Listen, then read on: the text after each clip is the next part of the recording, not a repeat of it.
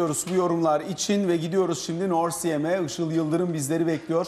Bakalım onların dolardaki bu sert hareket sonrasındaki beklentileri nasıl şekilleniyor?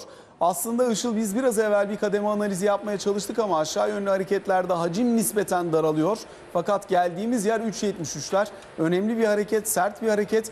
Dünyada da dolar endeksinin 2,5 ayın dibine kadar geldiği bir döneme denk geldi. Dolayısıyla nasıl yorumlarsınız?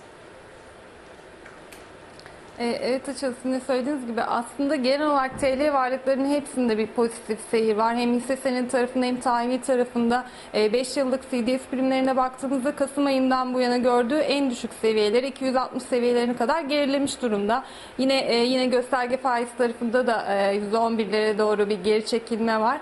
E, Dolayısıyla diğer taraftan dolar endeksindeki bu Trump sonrası gelen eleştiriler dolar tarafındaki düzeltmeyle birlikte e, dolar endeksinin 99 seviyesine doğru bir geri çekilme yaşaması da dolar TL'deki bu geri çekilmeyi desteklemiş durumda. Yine e, TL, TL açısından yurt içindeki siyasi görüşmeleri yakından takip ediyoruz.